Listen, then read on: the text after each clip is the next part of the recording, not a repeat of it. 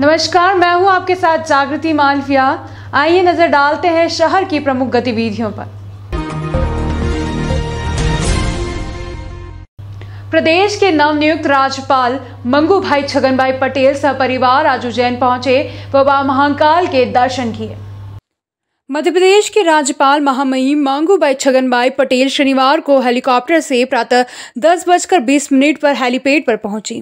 राज्यपाल के हेलीपैड पर संभागायुक्त से संदीप यादव, एडीजी योगेश देशमुख, कलेक्टर आशीष सिंह व पुलिस अधीक्षक सत्येंद्र कुमार शुक्ल ने आगवानी की। हेलीपैड पर उच्च शिक्षा मंत्री डॉक्टर मोहन यादव, सांसद अनिल फिरोजिया, विधायक पारस जैन, पूर्व विधायक सतीश मालवी, राजेंद्र भारती, विक्रम विश्वविद्यालय के कुलपति डॉक्टर अखिलेश पांडे, विवेक जोशी बहादुर सिंह बोरमुंडला, राजपाल सिंह सिसोदिया, जगदीश अग्रवाल, श्याम बंसल, इकबाल सिंह गांधी एवं अन्य जनप्रतिनिधियों द्वारा राज्यपाल का आत्मीय स्वागत किया गया।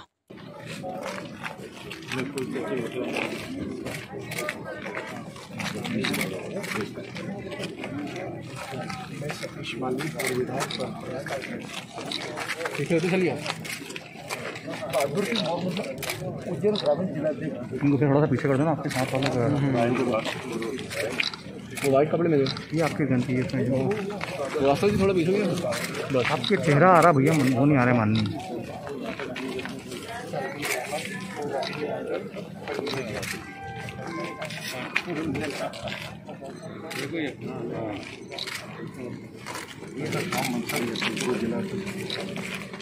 मैं राजपाल सिंह सिसोदिया हूँ प्रदेश प्रवक्ता हूँ। सुरेश गिरी जिला वहाँ भैया थोड़ा सा आपको फेस आ रहा है थोड़ा सा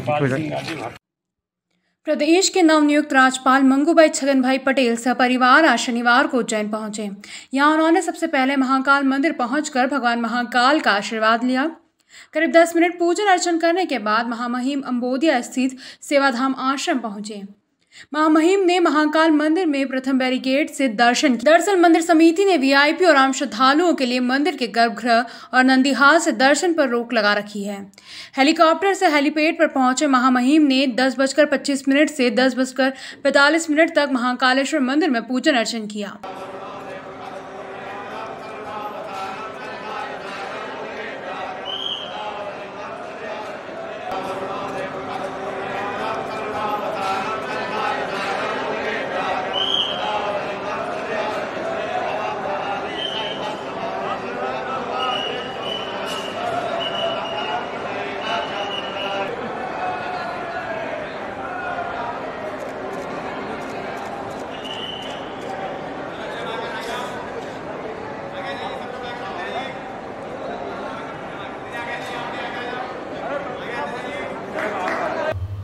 राज्यपाल मंगूभाई पटेल ने सेवाधाम आश्रम पहुंचकर वृद्ध एवं दिव्यांगजनों से मुलाकात की और कहा कि सेवाधाम आश्रम आकर मन गदगद हो उठा। मध्य प्रदेश के राज्यपाल मंगू भाई पटेल अपने प्रथम उज्जैन प्रवास के दौरान उज्जैन स्थित ग्राम अम्बोदिया के सेवाधाम आश्रम पहुँचे। राज्यपाल पटेल ने सेवाधाम आश्रम में रहने वाले वृद्धजनों, निशक्त महिलाओं एवं बालिकाओं, अनाथ बच्चों से भेंट की। उन्होंने सभी से उनके स्वास्थ्य, शिक्षा एवं अन्य जानकारी ली। सेवाधाम आश्रम के संचालक सुधीर भाई गोयल ने बताया कि आश्रम में करीब 700 लोग रह रहे हैं, जिनकी देखभाल उनके द्वारा की जाती है। राज्यपाल पटेल ने कहा कि सेवाधाम आश्रम की व्यवस्था एवं आश्रम द्वारा निशक्त महिलाओं, बच्चों एवं बुज़ुर्गों की की जा रही सेवा देखकर उनका मन प्रशंसा से भर गया। उनका मन आश्रम आकर गदगद हो उठा। राज्यपाल ने कहा कि यहाँ कुछ बच्चे देख नहीं सकते हैं, बोल नहीं सकते हैं और सुन नहीं सकते हैं। बड़ी संख्या में अन्य दिव्यांग जन भी हैं।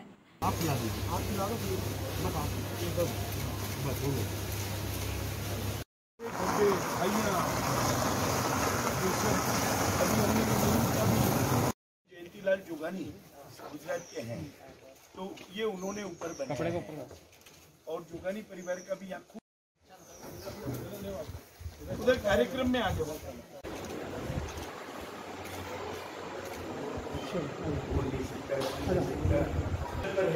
अगर ऐसा देखकर दिल में एकदम दुख होता है और दुख और एकदम अंदर से दुख होता है कि क्या है ये? ठीक है?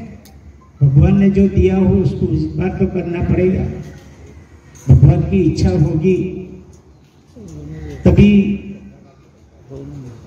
वो अच्छा होगा, मगर अपनी दुआ तो काम लगती है। कई बार ऐसा बोलते हैं सब, रास्ते में एक्सीडेंट हुआ, बच गए तो बोलते हैं, बड़ी लोग, किसी को पानी पिलाया होगा। इसलिए वो बच गए। उसी तरह काम है।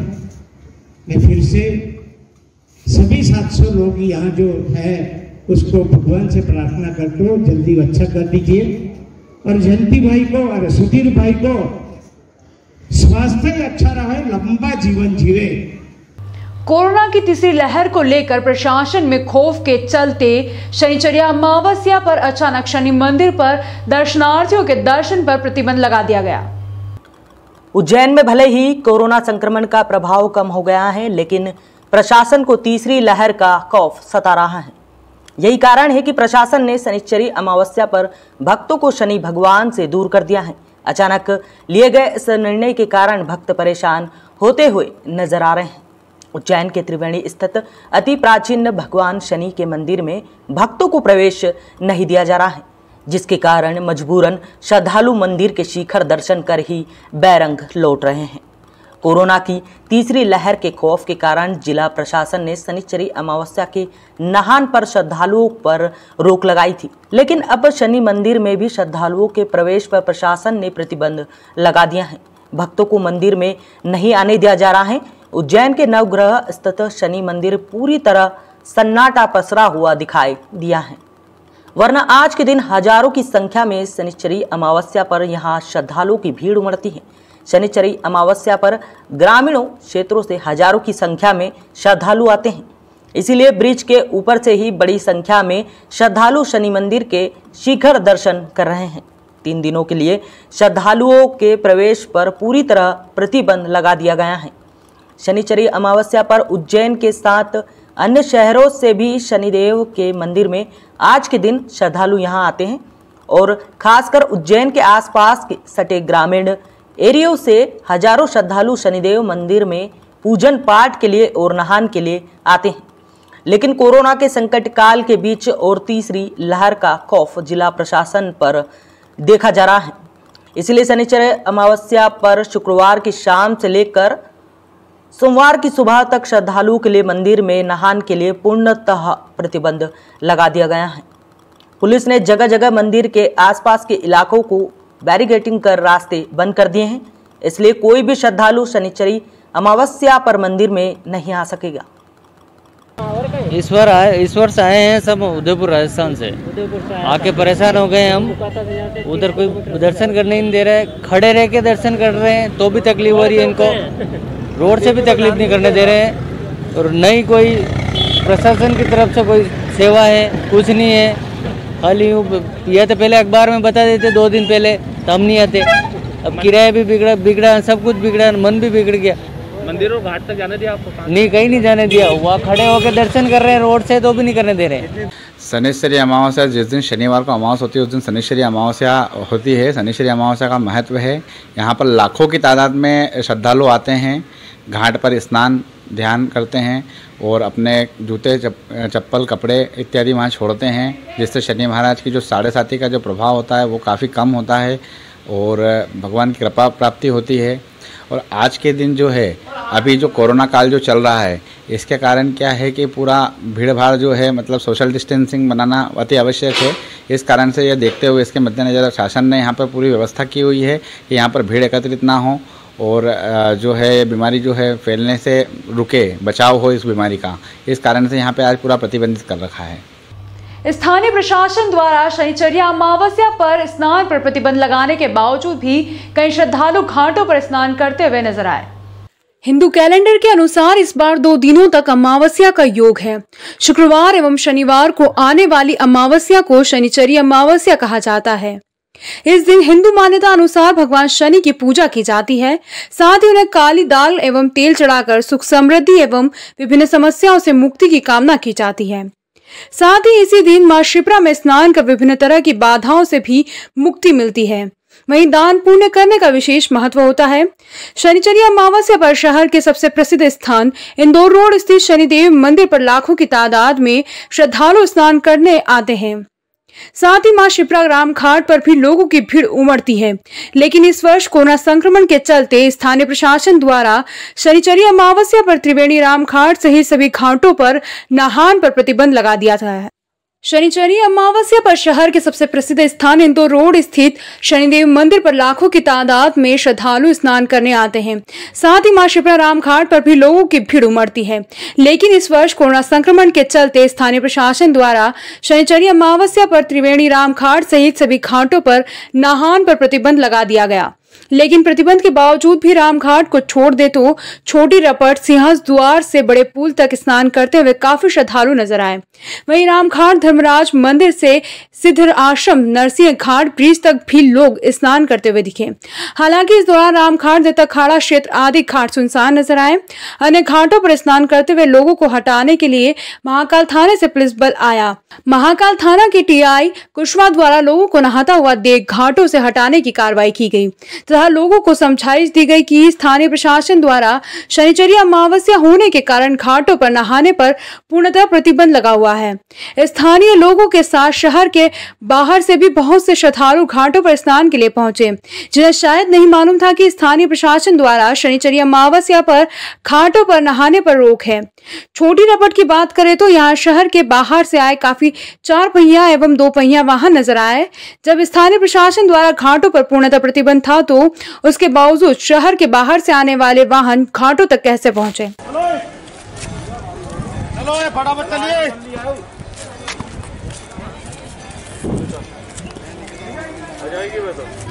चलो जाओ भैया जाओ।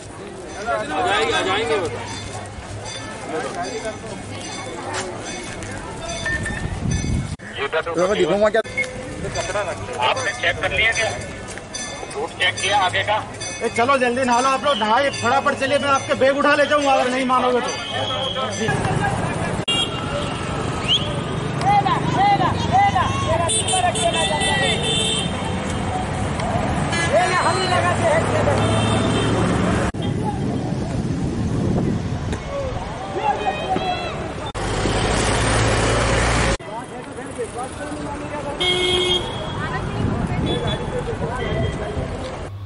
महाकाल मंदिर के बाहर कार्रवाई करते हुए सीएसपी पल्लवी शुक्ला ने सख्ती से किन्नरों को हटाया है। साथ ही दर्शनार्थियों को परेशान न करने की हिदायत दी है।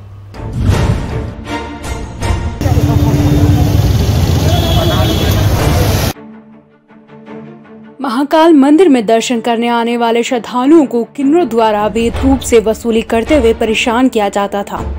पहले भी कई बार निर्गम द्वार के समीप किन्नरों और दर्शनार्थियों में वसूली को लेकर विवाद हुए हैं। मामले में प्रशासनिक अधिकारियों और पुलिस अधिकारियों को भी शिकायत कई बार की जा चुकी थी। लेकिन कोई कार्रवाई नहीं हुई थी, लेकिन आज सीएसपी पल्लवी शुक्ला ने मामले को संज्ञान में लेते हुए महाकाल मंदिर के बाहर निर्गम द्वार के समीप से किन्नरों को सख्ती से हिदायत देते हुए हटाया।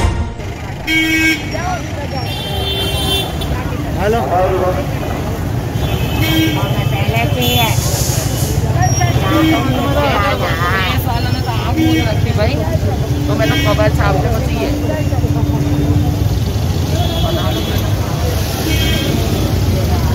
और दर्शनार्थी को परेशान न करने की हिदायत भी दी। सीएसपी पल्लवी शुक्ला ने बताया कि किन्नरों के द्वारा दर्शनार्थियों को परेशान करने की शिकायत मिलने पर उनके खिलाफ कठोर कार्रवाई की जाएगी।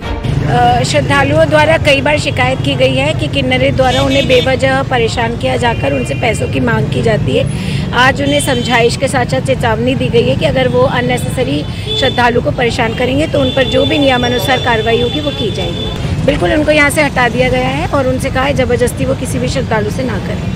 उज्जैन ज़िले के थाना खाचोद में रहने वाले एक युवक ने फेसबुक पर प्रधानमंत्री और केंद्रीय मंत्री स्मृति ईरानी का आपत्तिजनक पोस्ट अपलोड कर दिया, जिसके बाद ग्रामीण भाजपा नेता ने खाचोद थाना पहुंचकर युवक के खिलाफ आईटी एक्ट में प्रकरण पंजीबद्ध करवाया है।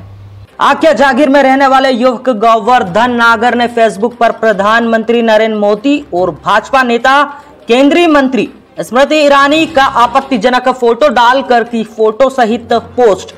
फ़ोटो पर लिखा, तू चिंता मत कर पगली, मैं तेरे साथ हूँ। मेरे रहते तुझे मंत्रिमंडल से कोई नहीं निकाल सकता। पोस्ट के बाद ग्रामीण भाजपा के नेता पहुँचे खाचरोद थाने। पोस्ट करने वाले युवक गोवर्धन नागर के खिलाफ आईटी एक्ट के तहत थाने में हुआ मामला दर्ज। मोदी मित्र मंडल में सबका साथ, सबका विकास संकल्प को पूर्ण कर रही है केंद्र एवं प्रदेश की भाजपा सरकार। यह बात उच्च शिक्षा मंत्री ने पत्रकार वार्ता में कही। वर्ष 2017 में 123वां संविधान संशोधन प्रस्तुत कर पिछड़ा वर्ग आयोग को संवैधानिक दर्जा दिलवाकर यह स्पष्ट कर दिया कि मोदी सरकार में सभी जाति और वर्गों के हितों और अधिकारों की रक्षा हेतु समान महत्व दिया जाता है। एवं निश्चित रूप से यह मोदी सरकार की नीतियों में भी दिखाई देता है। ये बात मध्य प्रदेश उच्च शिक्षा मंत्री डॉक्टर मोहन यादव ने पत्रकार वार्ता को संबोधित करते हुए कही। सब मीडिया प्रभारी दिनेश जाटवा के अनुसार शनिवार को मध्य प्रदेश शासन के उच्च शिक्षा मंत्री डॉक्टर मोहन यादव भाजपा कार्यालय लोक शक्ति भवन पर आयोजित पत्रकार वार्ता के माध्यम से मीडिया से रूबरू हुए। इस दौरान उनके साथ जिलाध्यक्ष विवेक जोशी, सांसद अनिल फिरोजिया, विधायक पारस जैन, संभागीय मीडिया प्रभारी सचिन सक्सेना एवं पिछड़ा वर्ग मोर्चा के जिलाध्यक्ष गबर भाटी प्रमुख रूप से मंचासीन रहे। जो तिरयालीस मंत्री बने हैं, उनके सहित उसमें पाँच कैबिनेट के और बाकी तेईस राज्य मंत्री, ये ओबीसी वर्ग से आते हैं। और ये इस नाते से भी ज़्यादा महत्व का हो जाता है कि हम सबको जानकारी में है कि हमारे देश की आबादी बावन परसेंट इस देश की आबादी ओबीसी से आती है। तो जिस प्रकार से प्रत्येक वर्ग को प्रतिनिधित्व मिलना चाहिए, लोकतंत्र की भावना भी होती है। और उसी आधार पर ये जो माननीय प्रधानमंत्री ने निर्णय लिया है कि पहले उन्होंने ओबीसी आयोग का निर्णय किया, ओबीसी आयोग को संवैधानिक दर्जा दिया और दर्जा देने के बाद ये एक बड़ा स्टेप उठाया कि अगर हमको लोकतंत्र में सबको प्रतिनिधित्व देंगे तो उसके बलबूते पर हम सबकी सरकार कहलाएँगे। स्वतंत्र भारत के इतिहास में प्रथम अवसर है जब ओबीसी वर्ग को अनुपातिक रूप से महत्व दिया गया। डॉक्टर मोहन यादव ने पत्रकारों से चर्चा करते हुए कहा कि मोदी सरकार के दूसरे कार्यकाल में मंत्रिमंडल का विस्तार करते हुए तिरयालीस सांसदों को शपथ दिलवाई गई। जिसमें सभी जाति वर्गों को प्रतिनिधित्व प्रदान किया गया। इसी के अंतर्गत पिछड़ा वर्ग में पंद्रह राज्यों के सत्तावीस मंत्रियों को शामिल किया गया, जिसमें पाँच कैबिनेट एवं बाईस राज्य मंत्री बने। यह स्वतंत्र भारत के इतिहास में प्रथम अवसर है, जबकि किसी सरकार में ओबीसी वर्ग को इतने बड़े अनुपात में स्थान प्राप्त हुआ है। इसके पूर्व की सरकारों ने ऐसे वर्ग को, जो कि देश की बावन प्रतिशत आबादी का प्रतिनिधित्व करता है, कभी इतनी तरजीह नहीं दी गई। डॉक्टर यादव ने कहा कि पूर्ववर्ती गैर भाजपा सरकारों के कार्यकाल में पिछड़ा वर्ग को सिर्फ़ एक वोट बैंक के रूप में उपयोग किया गया। देखिए, माननीय प्रधानमंत्री ने निर्णय लिया कि अगर सरकार चलानी है तो सर्व आबादी को अपने दायरे में लेना चाहिए। और ये बड़ा कठिन काम है, इतना सरल नहीं है। लेकिन पहली बार देश की आज़ादी के बाद ऐसे एक बड़ा निर्णय माननीय प्रधानमंत्री जी ने लिया है कि उन्होंने बड़ी आबादी के प्रतिनिधित्व को अपने मंत्रिमंडल में स्थान दिया है। और यही कारण है कि आज लगभग उनके जिस ढंग का पूरा मंत्रिमंडल बना है, उसमें सबके लोगों का प्रतिनिधित्व दिखाई देता है। युवा कांग्रेस प्रदेश अध्यक्ष विक्रांत भूरिया के उज्जैन आगमन पर स्वागत किया गया। वहीं प्रदेश अध्यक्ष ने वहाँ महाकाल के दर्शन भी किए। युवा कांग्रेस के प्रदेश अध्यक्ष डॉक्टर विक्रांत भूरिया का उज्जैन आगमन हुआ। इस दौरान युवा कांग्रेस जिला अध्यक्ष भरत शंकर जोशी के नेतृत्व में प्रदेश अध्यक्ष भूरिया का जमकर स्वागत किया।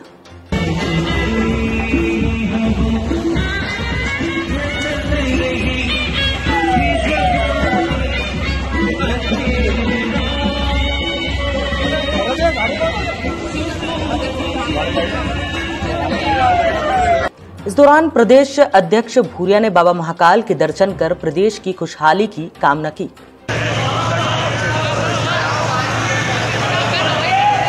प्रदेश अध्यक्ष इस दौरे से युवा कांग्रेस के कार्यकर्ताओं में उत्साह का माहौल बना। प्रदेश अध्यक्ष के साथ विक्की यादव, चंद्रभान सिंह चंदेल, बबलू खींची, लक्की ठाकुर, पप्पू बुरासी, शंकर परमार आदि ने बाबा महाकाल के दर्शन की साथ ही पिपली नाका चौराहे पर पूर्व प्रधानमंत्री स्वर्गीय राजीव गांधी जी की प्रतिमा पर माल्यार्पण किया। उज्जैन शहर के प्रसिद्ध समाज सेवी भगवान दास एरन की डुप्लीकेट फेसबुक आईडी बनाकर ऑनलाइन पैसे मांगने का मामला सामने आया है। शहर के प्रसिद्ध समाजसेवी महाकाल इंडियन गैस एजेंसी के मालिक भगवान दास एरन की डुप्लीकेट फेसबुक आईडी बनाकर लोगों से रुपए मांगने का मामला सामने आया है। किसी अज्ञात व्यक्ति द्वारा भगवान दास एरन की फेसबुक आईडी की कॉपी कर उनके नाम से लोगों से पैसे मांगे जा रहे हैं। किसी से तीन हज़ार की डिमांड की जा रही है तो किसी से पाँच हज़ार की। जब इस बात की जानकारी भगवान दास को लगी तो उन्होंने तुरंत अपने इष्ट मित्र को फेसबुक आईडी पर मैसेज कर लोगों को सूचना दी। उसके बाद साइबर सेल व संबंधित थाने पर आवेदन देकर उक्त बदमाश के ऊपर कार्रवाई के लिए आवेदन दिया। दीपक जैन ने चैनल को जानकारी देते हुए बताया कि उनके पास भगवान दास की फेसबुक आईडी बनाकर किसी ने फ्रेंड रिक्वेस्ट भेजी थी। जब उन्होंने उससे फेसबुक पर बात की तो सामने वाले ने उनसे तीन हज़ार की मांग की। एक मोबाइल नंबर भेजा जिस पर ऑनलाइन रुपये भेजने को कहा गया। जब उन्हें एक व्यक्ति पर शक हुआ तो उन्होंने भगवान दास को फ़ोन लगाकर जानकारी दी। इस संबंध में जब हमने आलोक एरन से बात की तो उन्होंने बताया कि दो दिन से किसी बदमाश द्वारा उनके पिताजी की डुप्लीकेट फेसबुक आईडी बनाकर लोगों को ठगने की कोशिश की जा रही है। इसकी शिकायत उनके द्वारा साइबर सेल और थाने पर कर दी गई है और लोगों से अपील की गई है कि भगवान दास के नाम से किसी को भी ऑनलाइन पेमेंट नहीं करें क्योंकि उनके द्वारा किसी प्रकार का कोई पेमेंट नहीं मांगा गया है। यानी आठ तारीख को, आठ जुलाई को सुबह कुछ इष्ट मित्रों का फ़ोन आया कि मेरे पिताजी श्री भगवान दास जी एवं के नाम को यूज़ करते हुए, उनके फ़ोटो को उपयोग में लाते हुए फेसबुक के ऊपर एक फेक आईडी किसी बदमाश द्वारा बनाई गई है। और उसके द्वारा जो ऑलरेडी कई वर्षों से फेसबुक आईडी चल रही है पापा की, उस उन्हीं फ्रेंड के ऊपर एक फ्रेंड रिक्वेस्ट भेजी गई। चूँकि फ़ोटो और नाम सेम होने के कारण लोगों ने उसे एक्सेप्ट किया। जिन लोगों द्वारा एक्सेप्ट की गई थी, उन्हें फिर फेसबुक मैसेंजर के माध्यम से एक मैसेज भेजा गया। जनरल जैसे हाय हेलो नमस्कार, इस तरह से। और जिन लोगों ने उसका जवाब दिया, उन्हें ये कहा गया है कि, साहब, मुझे आपसे कुछ काम है। तो संबंधित व्यक्ति ने बोला, साहब, क्या काम है? तो इन्होंने पैसों की डिमांड करी। किसी से तीन हज़ार, किसी से सात हज़ार, किसी से पाँच हज़ार। यह पूर्ण रूप से गलत है। उक्त बदमाश द्वारा जो भी डिमांड की जा रही है, आप उसे इग्नोर करें, किसी भी तरह का ऑनलाइन ट्रांजैक्शन ना करें। उसके द्वारा जो मोबाइल नंबर उसमें दिया गया है, जिसके ऊपर ऑनलाइन ट्रांजेक्शन करना है, उसकी शिकायत हम संबंधित थाने और साइबर क्राइम में कर रहे हैं। पुलिस द्वारा इसकी जाँच की जाएगी और उन्हें ढूंढा जाएगा। जब तक आप पूर्ण रूप से सावधान रहें ना ही फ्रेंड रिक्वेस्ट को एक्सेप्ट करें और ना ही किसी भी तरह का लेन देन करें ना ही उसके किसी मैसेज का जवाब दें। धन्यवाद। यस कल के बाद पुनः उसने आज आ, कुछ मित्रों को उसी तरह से मैसेज भेजा जिसमें से श्री दीपक जी जैन के पास भी एक मैसेज गया और उनसे तीन हज़ार रुपये की डिमांड करी। दीपक जी जैन द्वारा हमें सूचित किया गया तो मीडिया के माध्यम से भी हम आपसे अपील कर रहे हैं कि किसी भी तरह का कोई लेन देन ना करें। बैंक टाइम में मेरे पास भगवान दत्त जी एरन जो कि शहर के बहुत प्रतिष्ठित व्यक्ति हैं, आप लायंस क्लब के पूर्व गवर्नर हैं और महाकाल इंडियन गैस एजेंसी के संचालक हैं, उनकी आईडी से मुझे मैसेज आया था कि उनने तीन हज़ार रुपये की मुझसे मदद मांगी है। ये सारे मैसेजेस जिसमें आए हुए हैं। मैंने तुरंत मुझे लगा कि कुछ गड़बड़ है। मैंने तुरंत अंकल को फ़ोन किया, उनसे जानकारी ली। उन्होंने मुझे बताया कि कल 11 बजे से उनकी आईडी किसी ने हैंग कर लिए तो आप समाज के बड़े प्रतिष्ठित व्यक्ति हैं। निश्चित रूप से शहर में बहुत से लोग जानते हैं। तो कृपया आप लोग भी ध्यान रखें। मुझे अभी मैसेज मिला और मैंने अंकल से चर्चा की तो उन्होंने बताया कि ऐसा उनके साथ हुआ है। तो आप सब लोग भी ध्यान रखें। इस तरह तो आप लोगों से यही निवेदन है कि ये तो भगवान दत्त जी हिरन का बड़े प्रतिष्ठित व्यक्ति का नाम है तो मुझे लगा कि मुझे आप सबको बताना चाहिए कि अपने भी किसी परिचित के आईडी से अगर इस तरह का कोई मैसेज आता है तो प्लीज़ आप उनसे संपर्क करें, उसके बाद ही कुछ निर्णय लें, अन्यथा आप, हम लोग ठगी के शिकार हो सकते हैं ऐसे लोगों से। थैंक यू टावर चौराहा स्थित छोटे गोपाल मंदिर के पास से नगर निगम द्वारा अतिक्रमण हटाया गया।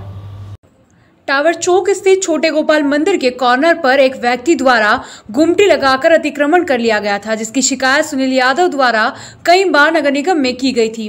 फिर भी सुनवाई न होने पर सुनील यादव द्वारा सीएम हेल्पलाइन पर अतिक्रमण की शिकायत दर्ज कराई गई। सीएम हेल्पलाइन पर शिकायत दर्ज होने के कुछ ही समय बाद नगर निगम की अतिक्रमण टीम के गैंग प्रभारी मोनू थनवार द्वारा अतिक्रमण हटाया गया।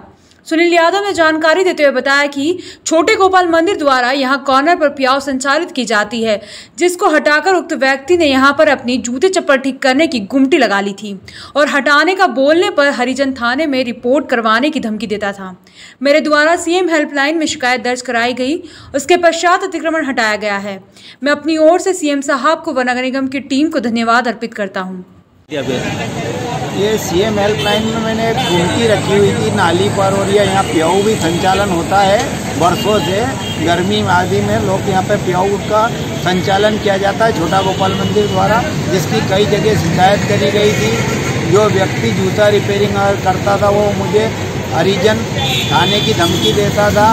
इस प्रकार आज जो है सीएम हेल्पलाइन के माध्यम से नगर निगम की टीम, मोनू थनवार और अन्य गैंग मैन द्वारा ये गुमटी हटाई गई है जिससे मंदिर में आने जाने वालों को परेशानी होती थी प्याऊ में भी परेशानी होती थी। जल निकासी जो बारिश का पानी और नाली की निकासी भी बाधित होती थी। इस प्रकार आज एक सीएम हेल्पलाइन के माध्यम से ये मंदिर छोटा गोपाल मंदिर टावर चौराहे के हित में एक सराहनीय कार्य किया गया है। मैं सीएम साहब को हेल्पलाइन टीम को भी धन्यवाद व्यक्त करता हूँ। आपका नाम? सुनील यादव। छोटा गोपाल मंदिर यादव परिवार की ओर से। यह थी शहर की प्रमुख गतिविधियाँ। इस अंक में फ़िलहाल इतना ही। अगले अंक में फिर मुलाकात होगी। तब तक के लिए नमस्कार।